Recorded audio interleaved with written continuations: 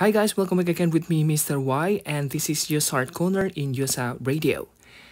Okay, in today's video, we would like to make another simple drawing, and this is another tropical fruit, and this is rose apple. Wow, this is my favorite fruit anyway.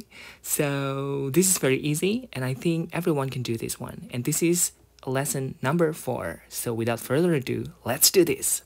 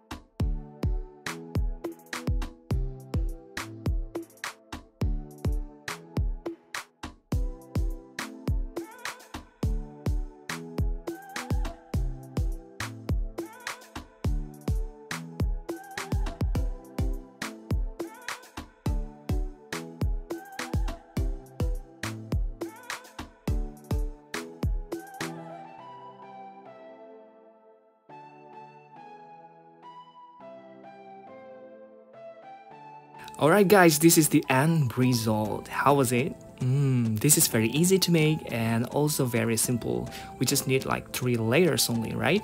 Alright, so I made some mistakes there in the process of making, but that's okay. It's a process of learning anyway, right? So this is the end of the video and I will really appreciate if you want to hit the like button, leave a comment down below and subscribe to my channel.